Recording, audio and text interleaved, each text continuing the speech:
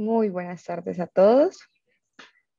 Les damos la bienvenida a este, taller, a este taller sobre el tema términos y condiciones, una nueva forma de contratar. Durante una hora estaremos conectados y al final tendremos un espacio para resolver dudas o preguntas que nos dejen por el chat o si desean alzar la mano les podemos activar el micrófono. Este taller es presentado por la Facultad de Derecho y Ciencias Sociales y apoyado por la Dirección de Posgrados de la Universidad de ICESI, la cual ya tenemos inscripciones abiertas. Quienes estén interesados, por favor, déjenos en el chat y con muchísimo gusto Joana estará atendiéndoles y mandándoles toda la información. Gracias a todos por conectarse el día de hoy y le damos la bienvenida a nuestro conferencista Juan Fernando Arenas, abogado, especialista en Derecho Comercial y en Propiedad Industrial, Derechos de Autor y Nuevas Tecnologías. Magíster en Derecho, con una experiencia más o menos de cinco años en el sector privado, especialmente en categorías de Derecho Empresarial, Propiedad Intelectual y Asistencia Jurídica a emprendimientos eh, y emprendimientos eh, digitales basados en la creación de valor para el mercado abogado de la Cámara de Comercio de Cali, mentor de programas de innovación tales como apps.com, Mintic, Wise, etc. Así que bienvenido. Pues muchas gracias Daniela y bienvenidos y bienvenidas a todos. Profe, no te escuchamos. ¿No me están escuchando ahí? No sé si sea yo. Nos escriban por el chat si de pronto se escucha. Ah, caramba. ¿Escuchan? Eso, creo que ya te escucho. Ahí, ¿me escuchas? Sí, yo te escucho. Bueno, perfecto. Nada, les decía que bienvenidos y bienvenidas todos y todas a este espacio, tanto por Zoom como por las redes. Entiendo que estamos también por Facebook, me, me corregirá Daniela. Sí, claro. Entonces, nada, quiero agradecerles por estar aquí conectados con nosotros. Y durante la próxima hora, bueno, 50 minutos aproximadamente, conversaremos un poco sobre lo que son los términos y condiciones y su validez eh, aquí en Colombia para que al final pues tengamos un espacio para poder conversar y tener de alguna manera eh, preguntas y poderlas resolver. ¿Listo? Eh, habiendo dicho eso, igualmente, muy bien lo dijo Daniela, si en algún momento tienen algún tipo de duda o de pregunta, pues con el mayor de los gustos alzan la mano y podemos en ese momento resolverla. va a mostrarles una pequeña presentación yo sé que dice taller, pero pues ustedes entenderán que son 26 por ahora acá y por otro lado un poco más, entonces pues es complicado. Bueno, entonces hablemos de los términos y condiciones, una nueva forma de contratar. Daniela, me confirmas, se ve la presentación, ¿cierto? Sí, señor, se ve bien. Perfecto. Bueno, entonces, una nueva forma, una, una nueva forma de contratar en realidad es algo un poquito catchy o un poquito como para atraparlos en el nombre, pero en realidad pues yo creo que la mayoría saben que no es una nueva forma de contratar en el sentido que hace rato existe, sino que quizá hay muchos mitos frente a la validez jurídica, no solamente los términos y condiciones como contrato entre los usuarios y la plataforma, o por supuesto la empresa detrás de la plataforma, sino también a través de qué tan viable o no viable es el consentimiento que otorgan los usuarios cuando, por ejemplo, dicen si acepto, ¿sí? Eh, o algunas páginas que dicen por el hecho de usted estar en la página ya acepta las condiciones de uso por, por parte de la plataforma. Entonces vamos a conversar un poquito de eso, cómo funciona, si digamos los términos y condiciones son un documento viable electrónico, si funciona el tema de la aceptación o no funciona, y eso será por el día de hoy. Es una abrebocas, en realidad pues una hora y es una conversación. ¿Listo? ¿Cuál es nuestra agenda para el día de hoy? Voy a dar una breve introducción, conversaremos un poquito con un ejemplo que es Instagram, Instagram a ver cómo funciona, cuáles son las cláusulas comunes que tienen estos tipos de documentos. Vamos a ver si está regulado o no está regulado el tema de los términos y condiciones en Colombia. Eh, hablaremos un poco del Wrap y el Rose Wrap, que son dos formas de, de, de, alguna manera validar el consentimiento por parte de los usuarios. Veremos qué pasa con el consentimiento eh, en la contratación por medios electrónicos, si esto tiene alguna relación con el tema de protección al consumidor, unas recomendaciones y concluimos, pues obviamente con sus preguntas. ¿Listo? Entonces, pues la primera pregunta que uno tiene que plantear de alguna manera si los términos y condiciones en general, no solamente de Instagram, son un documento válido conforme a la ley 57 de 1999. Y yo creo que para nadie es un secreto, todos aquí hemos visto esta paginita que está en la presentación, que les dice número móvil, correo electrónico o correo electrónico, nombre completo, nombre de usuario, contraseña, registrarte y abajito siempre dice, al registrarte aceptan nuestras condiciones y la política de privacidad. Digamos que esto, por supuesto, no es solamente una práctica de Instagram, sino que de, alrededor de todas las plataformas o, digamos, algún tipo de servicio web que se dan a día de hoy en nuestras vidas. Entonces, vean, en general los documentos, o más bien los términos y condiciones, simplemente trata de un documento donde están todas las condiciones del uso o las condiciones que van a regular la relación entre el usuario y la plataforma. Entonces, ahí van a encontrar temas tan esenciales como el tema del manejo de la propiedad intelectual, cuáles son las responsabilidades del usuario frente a la plataforma, cuál es la responsabilidad de la plataforma frente al usuario, temas de pagos, temas de cancelaciones, etcétera, etcétera. En últimas es el contrato, que me gusta mucho hablarlo eso con algunas personas que tienen emprendimientos tecnológicos y les digo, pues vean, en últimas los términos y condiciones del contrato. Solamente que usted no va a firmar un contrato con cada usuario que tiene, sino que hace una clase de contrato de adhesión llamado términos y condiciones. Ahora bien, ¿cómo se ven normalmente las condiciones de uso? Esto que están viendo ahorita en pantalla, pues lo saco directamente de las condiciones de uso de Instagram. Entonces, eso siempre dice algo como lo siguiente que es que estas condiciones de uso rigen el uso que haces de Instagram, excepto en aquellos casos en los que indiquemos de forma expresa que se aplican otras disposiciones en su lugar y proporcionan información sobre el servicio de Instagram en los términos descritos a continuación. Cuando creas una cuenta de Instagram o usas Instagram, acepta las presentes condiciones.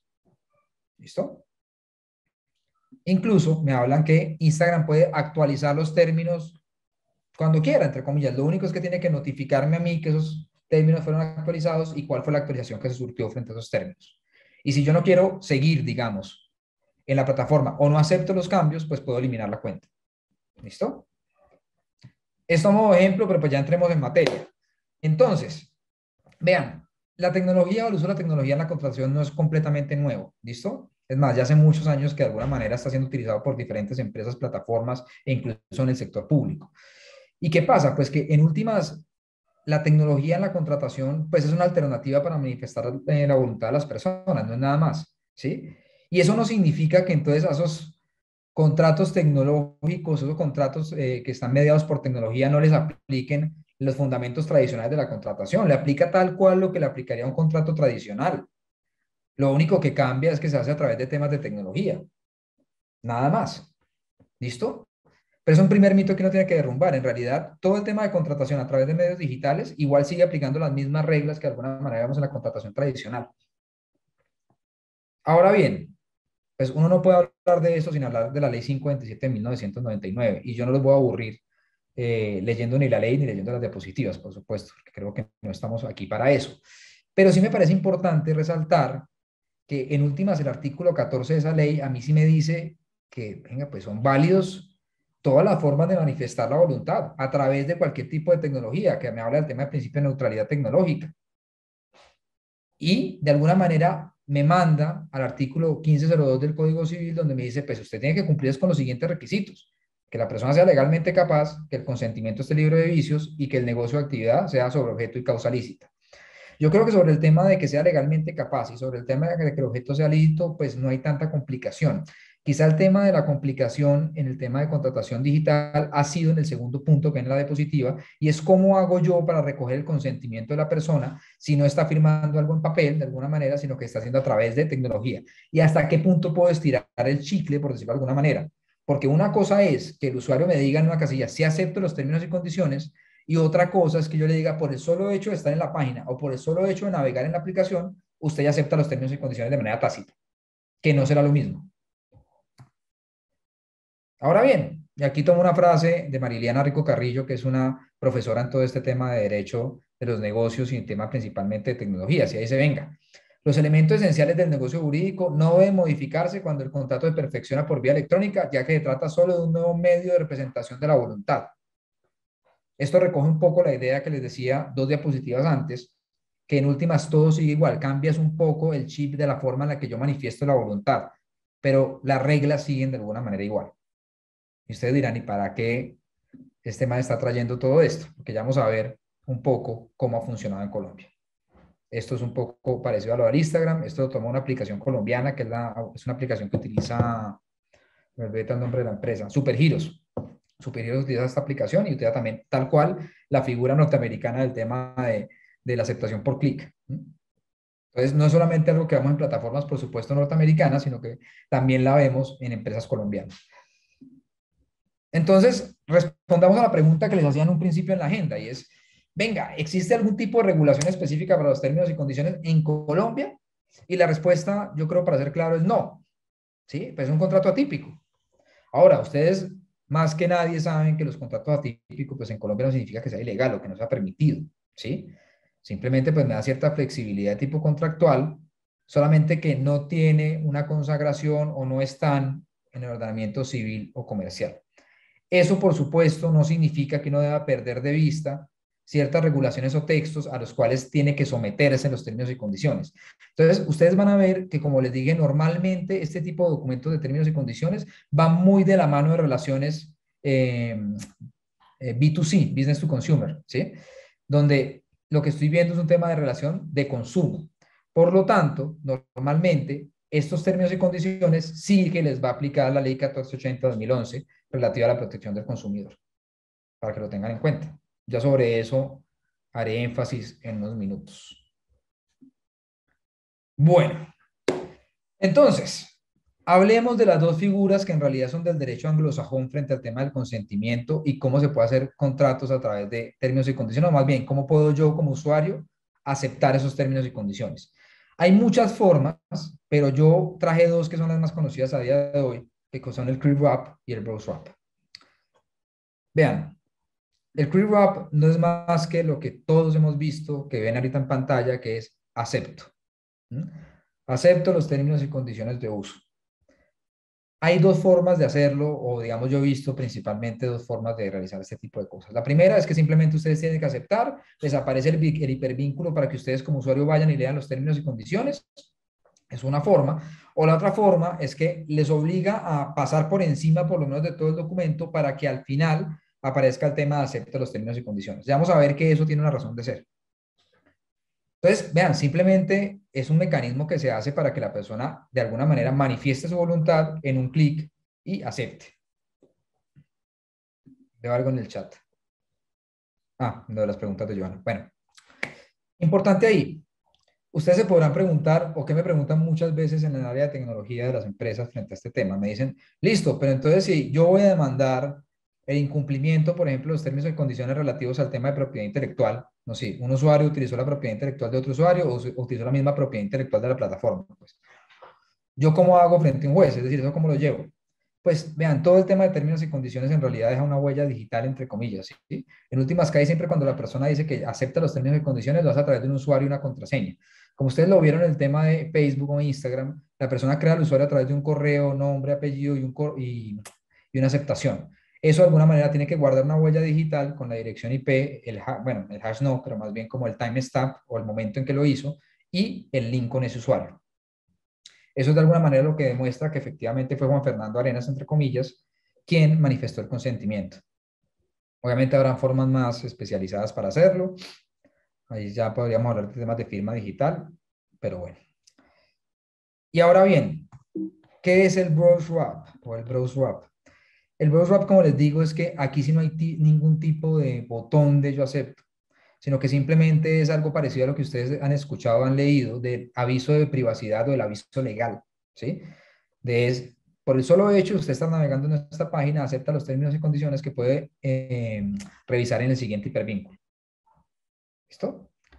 Esas son las dos formas de manifestar el consentimiento más utilizadas normalmente con el tema de plataformas o con el tema de software as a service. Ahora bien, ya vamos a ver que hay una que tiene mayor posibilidad de ser válida en un litigio que otra. Y voy a poner dos ejemplos, uno norteamericano y uno colombiano.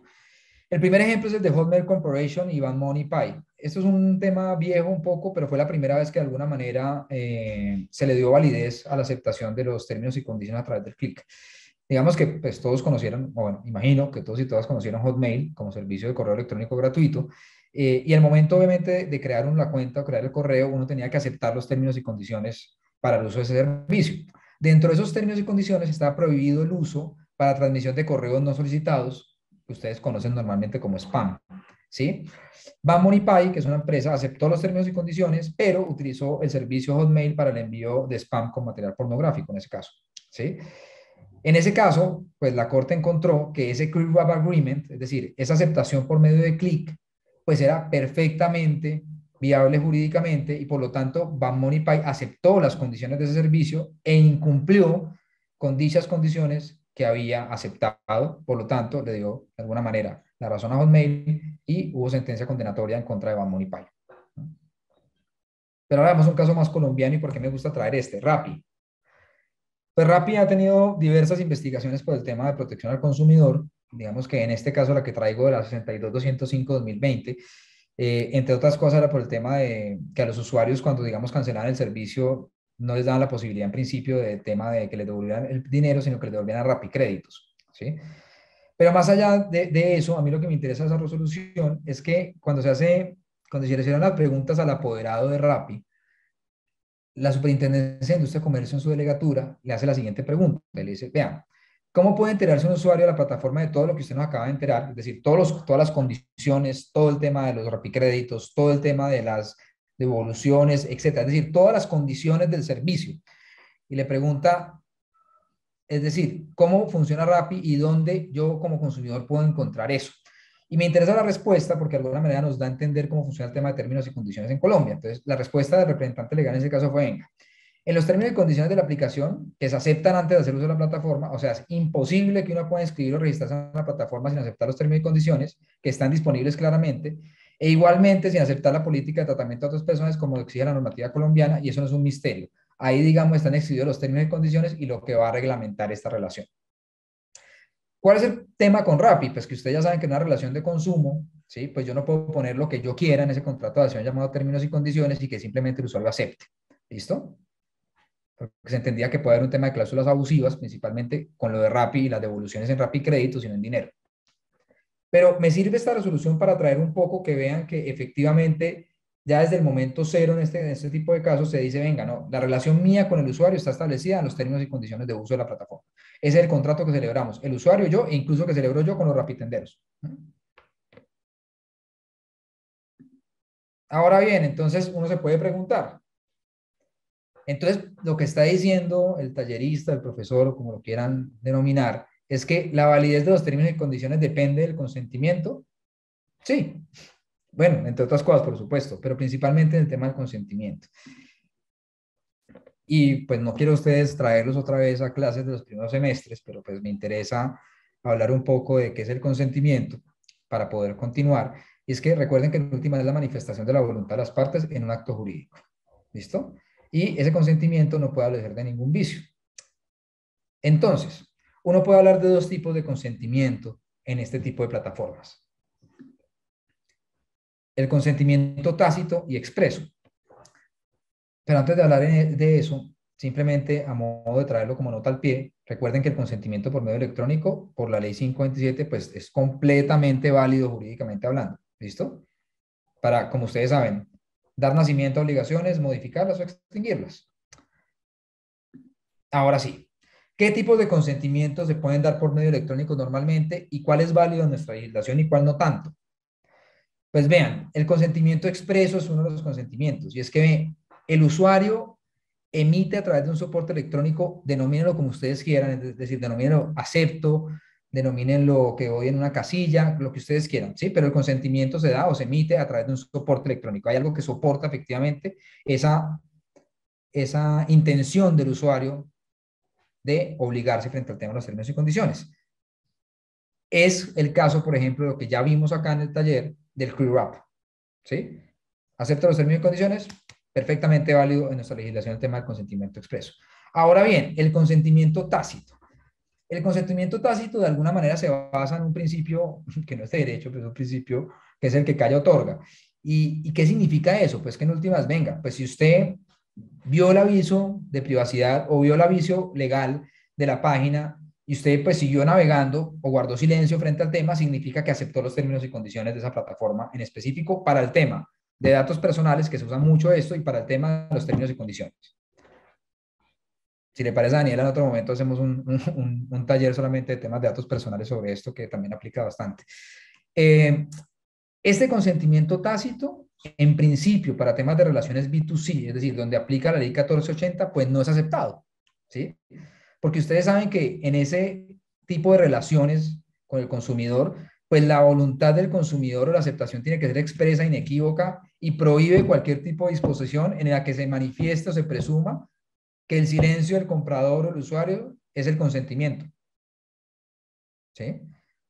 Entonces, es una primera conclusión. Para temas de relaciones B2C donde aplique la ley 1480-2011, pues no podremos en ningún caso decir que, que se establezca un tema de consentimiento tácito. Ahora bien, aquí viene una pregunta. Yo creo que estamos bien de tiempo. A ver si alcanzamos a compartir así en el chat que me respondan. Si el usuario no leyó los términos y condiciones y procede al pago, la descarga o la búsqueda o hacer uso del servicio, ¿el consentimiento se considera otorgado para los términos del contrato denominado términos y condiciones? ¿Qué creen? Es decir, hizo la típica de que dijo, no, yo me quiero meter a Instagram, yo no voy a leer todo ese montón de, páginas, de 60 páginas, yo le acepto.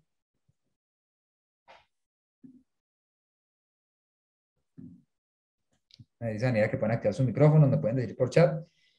¿Qué opinan?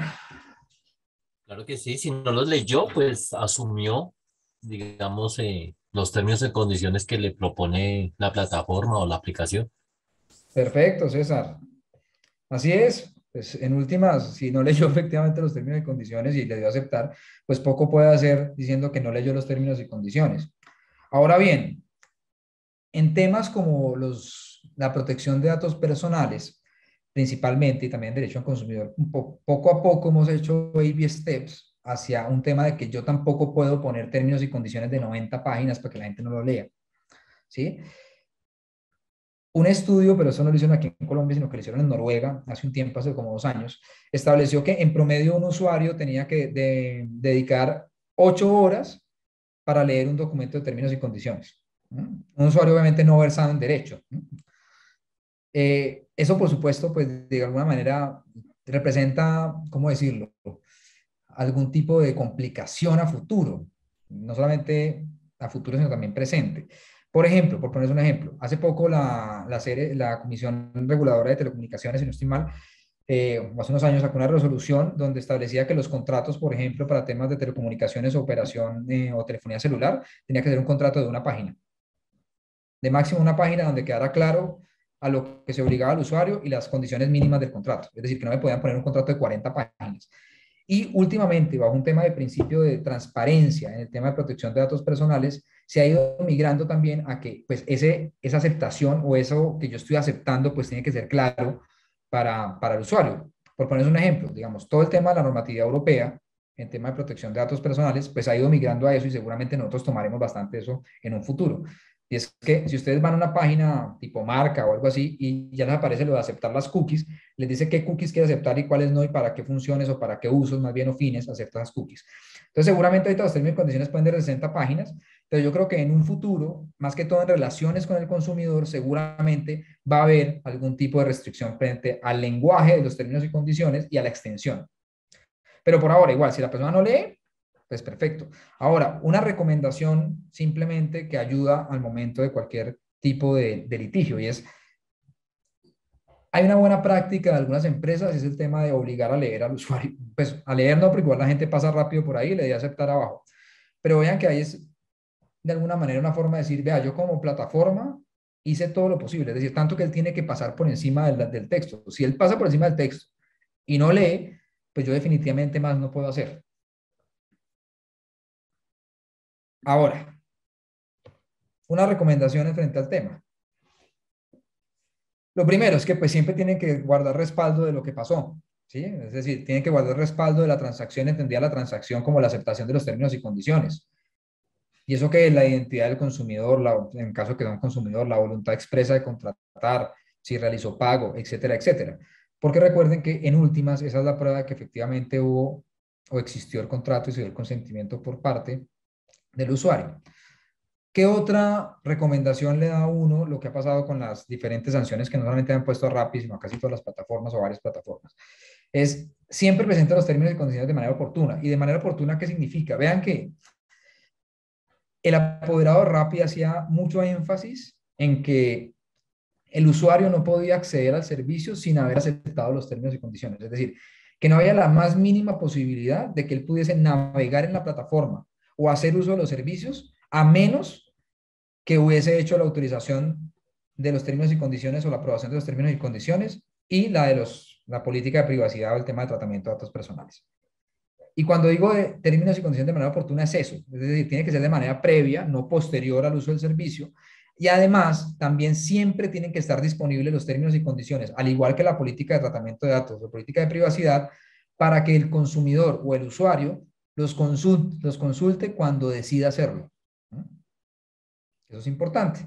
Y la tercera recomendación que ya de alguna manera se las daba desarrollando o haciendo este taller es, pues en últimas, los términos y condiciones ideal que igual el usuario tenga que pasar para dar clic al final de la lectura de los términos y condiciones. Eso no es obligatorio, si no, si no lo hacen, pues igual de alguna manera no tendrán ningún problema, pero es una recomendación. Entonces, yo hago esta pregunta. Ya lo que hemos, con lo que hemos visto, ¿realmente puede manifestarse el consentimiento del usuario al aceptar los términos y condiciones de Instagram? Y tiene mucho que ver un poquito y bueno, es un poquito chistoso la imagen que está a la derecha, pero tiene su razón de ser. Y es, ahí dice, how you can read this. There, no there is no pictures. Es decir, lo que está diciendo, ¿cómo puedo leer esto y no tiene ningún tipo de gráfico? Entonces, les pregunto, ¿puede manifestarse el consentimiento del usuario de aceptar los términos y condiciones de Instagram en Colombia? La respuesta debería ser sí, sí, bajo lo que hemos visto.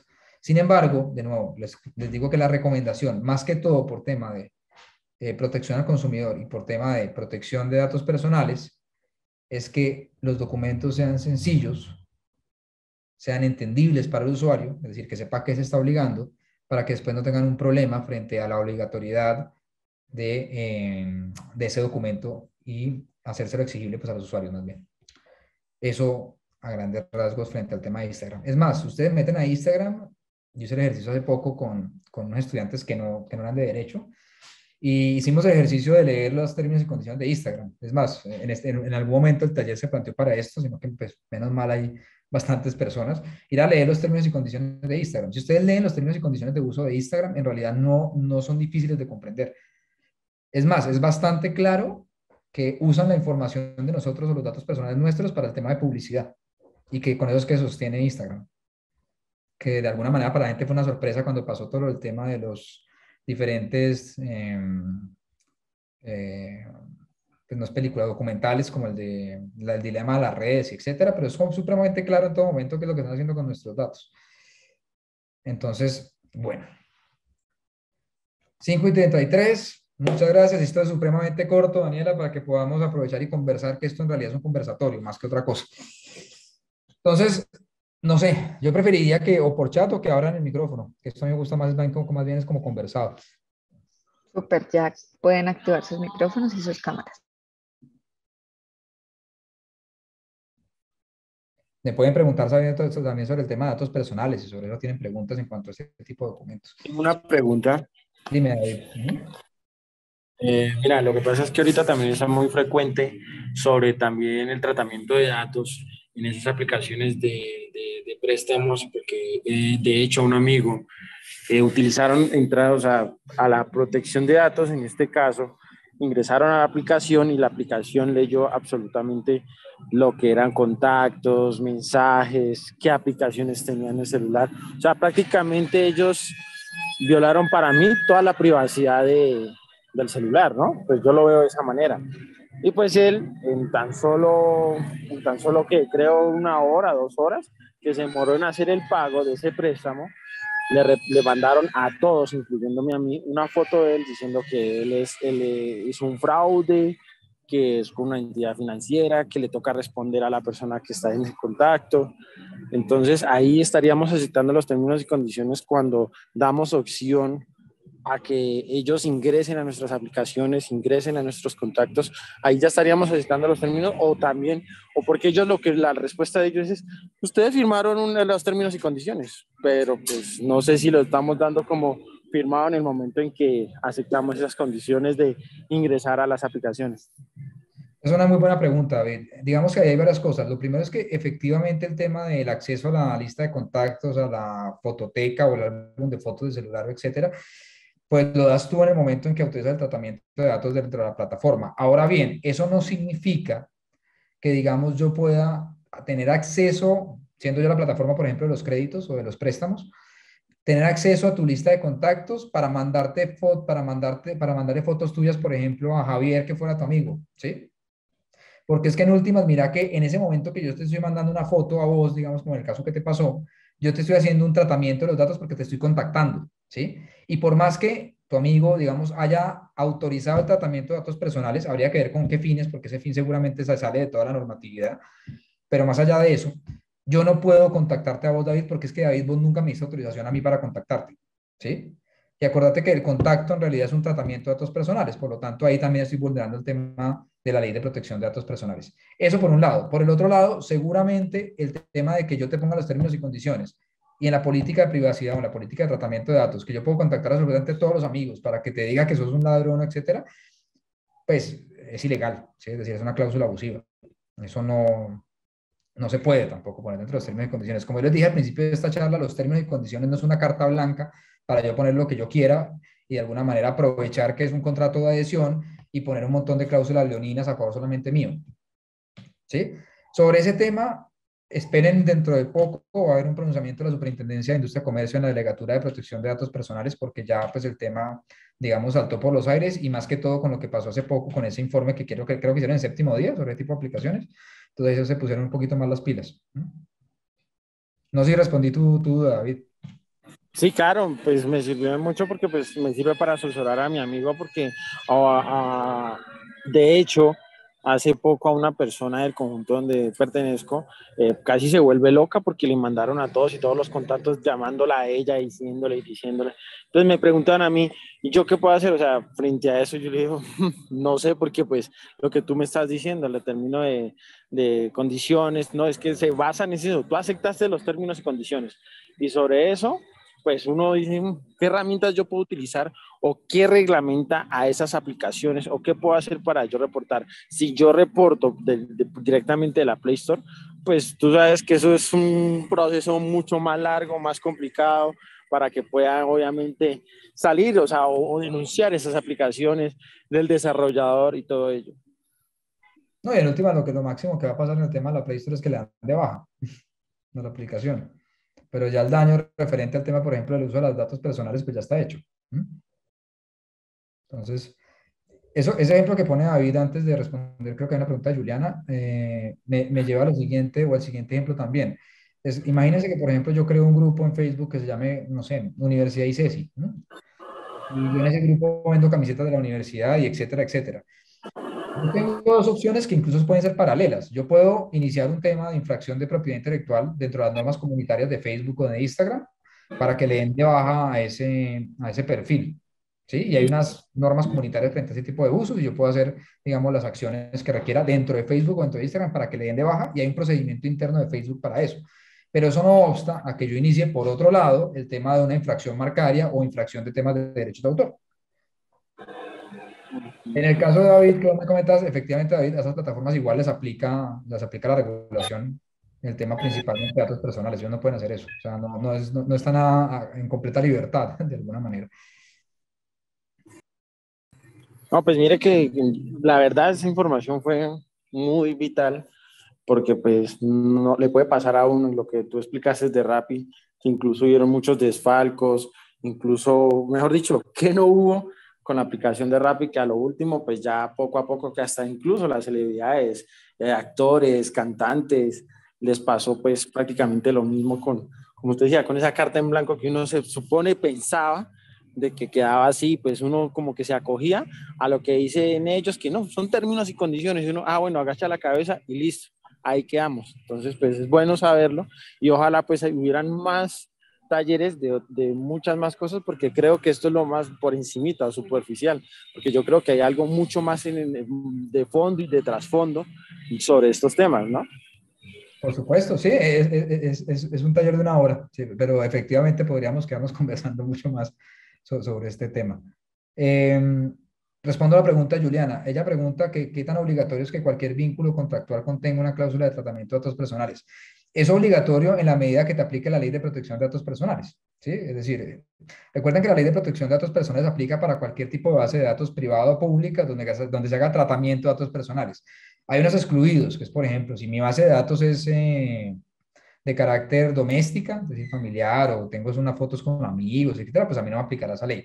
Pero por supuesto que si yo soy un negocio, soy una plataforma, o tengo cualquier tipo de, de emprendimiento de base tecnológica, pues me aplicará el tema de datos personales y por lo tanto, pues sí es obligatorio que haya no solamente un tema de, de, tratamiento de datos personales, sino que haya una aceptación por parte del usuario de esa política o ese tratamiento eh, previo a, su inscripción o a su registro como usuario. No sé si a Juliana le contesté la pregunta. Que me ponga así en el chat. Perfecto. No sé si hay más dudas.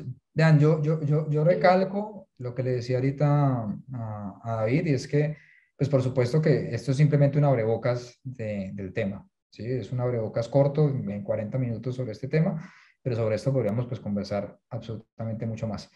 No sé si hay más preguntas, creo que Angie de pronto me iba a preguntar algo. No, pues iba a hacer como un comentario de pronto que me ah. parece interesante respecto a lo que dijiste de, de pronto tenía un poco inestable el internet, entonces como que tal vez me perdí un poco en, en pues en la charla, digamos. Eh, pero sí como me parecía muy interesante, por ejemplo, esta, cuando creo que era David, Dosano, Lorenzo, no sé, te respondió, y es que, o sea, si, si yo no leí como todo el documento de, eh, pues de política de tratamiento de datos, de aceptación de términos y condiciones, igual me acogía a eso y pues la respuesta es sí, ¿no? Pues usted se acogió porque igual hizo uso, pues uso del servicio, digamos.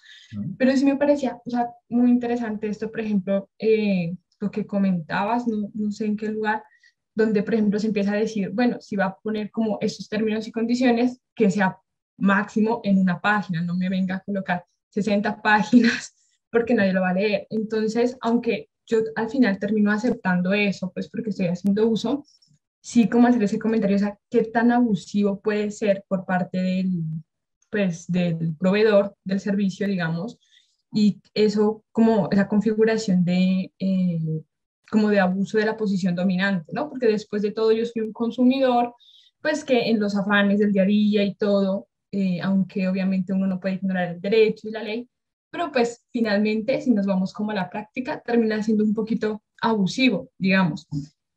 Eh, porque pues el derecho no es perfecto y pues aunque, o sea, sí, voy como ahí en eso, ¿no? Entonces sí, yo no creo que aquí, yo he hecho el intento, o sea, yo he tratado de ser responsable con eso y por ejemplo cuando descargo aplicaciones o cositas así, yo como que trato de leerme los términos y condiciones, hay unas que son más amigables, terminan siendo largas, pero pues uno como que, bueno, las paso rápido, pero hay otras que uno dice como que, no, madre, como que, o sea, esto no no lo leo nunca, son poco amigables con el usuario.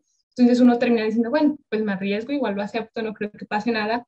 U otras veces yo en lo personal digo como que no, esto no me hace tanta falta, mejor no, desinstalo esto, no acepto nada.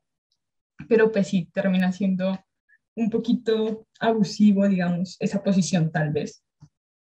No, y, me parece súper pertinente tu intervención, Angie. Eh, completamente de acuerdo con lo que estás diciendo. Tanto así que, por ejemplo, mira que en el caso que ponía de Rappi, más allá de las explicaciones que daba, por supuesto, el, equipo de abogados y, el representante legal, al final, pues terminan sancionando a Rappi. Le dicen, pues, venga, a mí no me interesa que en los términos y condiciones el usuario haya aceptado que le van a devolver en, en Rappi créditos.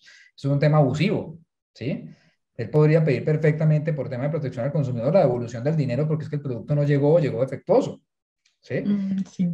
Entonces, mira que al, final sí, hay un tema principalmente por, por, evitar cláusulas abusivas en este tipo de relaciones. Sin embargo, yo coincido contigo que deberíamos ir migrando, evolucionando a un tema donde se le exija efectivamente a las empresas, más que todo en esa relación B2C, que les decía, que el documento, más allá de que no contenga eh, cláusulas abusivas, se pueda comprender por parte del usuario, ¿sí? Es decir, que no sea que mi intención no sea todo lo contrario, es decir, que mi intención no sea que no lo lea, sino que lo lea y entienda que se está obligando. Y creo que hacia allá vamos a migrar. Quizá en un principio por tema de aceptar o, de importar la regulación relativa al tema de protección de datos personales, pero llegaremos también a relaciones del consumidor, donde se imponga ese tema también de que efectivamente no puede ser en más de una página o en más de X páginas y que sea en lenguaje común, ¿sí? Es decir, que cualquier persona lo pueda leer. Sí, sí, muchas gracias. Eso me parece muy interesante como esa parte. Pues todo en realidad es un tema muy amplio. Con todo el gusto. No sé si hay más dudas. Lina, Lina dice que si hay cursos sobre protección de datos personales que nosotros demos. En este momento, justamente estamos, el lunes abrimos un diplomado sobre contratación en entornos digitales, donde hay un módulo de protección de datos personales. Pero les podremos dar más información si, si así lo desean. No sé si hay más preguntas.